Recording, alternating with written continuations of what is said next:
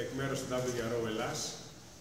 Ε, θέλω να ευχαριστήσω καταρχάς ε, τον Πρόεδρο και την Αντιπρόεδρο ε, του Ιδρύματος, τον κύριο Λαζαρόπουλο και την κυρία Δυσπινιάδου. Επίσης τον Περιφερειακό Διευθυντή Εκπαίδευσης, τον κύριο Γιαννόπουλο. Ε, για μας, ως WRO, αλλά και για μένα προσωπικά, ε, το Σκαγιοπούλιο είναι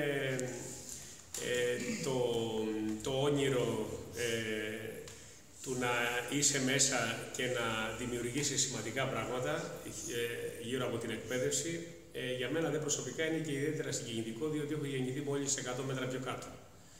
Οπότε ε, ξέρω πολύ καλά σε ποιο χώρο είμαι και θέλω να του δώσουμε και ιδιαίτερη τιμή και όθηση. Ξεκινώντα από το τέλος, αποδεχόμαστε την πρόκληση του Περιφερειακού Διευθυντή. Σαφώς θα βάλουμε ένα στόχο στα επόμενα δύο χρόνια, ομάδα από ε, το Σκαγιοπούλιο να λάβει μέρος στην Ολυμπιάδα Εκπαιδευτικής Ρομποτικής και είναι κάτι για το οποίο θα δουλέψουμε ε, ιδιαίτερα εντατικά. Τώρα, να σας πω δύο πράγματα.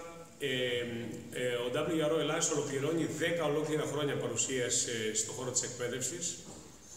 Ε, επί 10 ε, ανελειπή χρόνια διοργανώνει πανελλήνιους διαγωνισμούς και οι καλύτεροι πηγαίνουν μέρος, λαμβάνουν μέρος στις Ολυμπιάδες με ιδιαίτερα θετικά αποτελέσματα, όπως η Ξάνθη που πήρε το δεύτερο το ασημένιο μετάλλιο και φιλοδοξούμε ε, εκατοντάδες παιδιά να μυθούν στην τεχνολογία ανεξάρτητα αν θα πάνε στην Ολυμπιάδα ή αν θα ε, κάνουν καριέρες ε, ε, ε, γύρω από την τεχνολογία ή την εκπαιδευτική ρομποτική.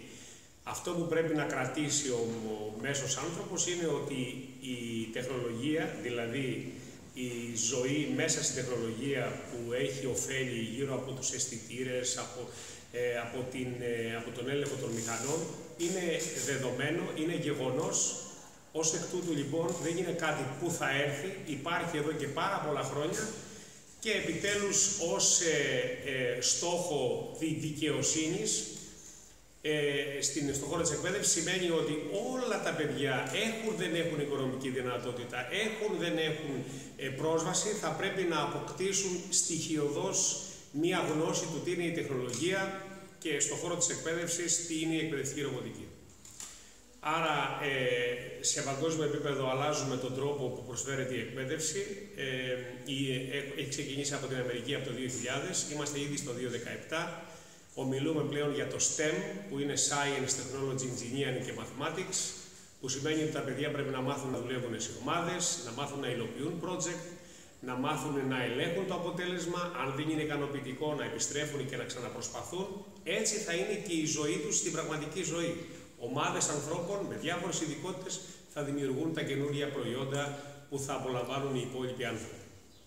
Αυτό είναι το όραμά μας. Ε, γι' αυτό εργαζόμαστε πάρα πολύ σκληρά.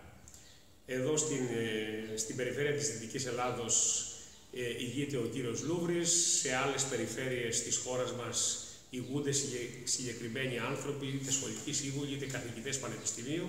Όλοι αυτοί προσπαθούν για το γενικό καλό.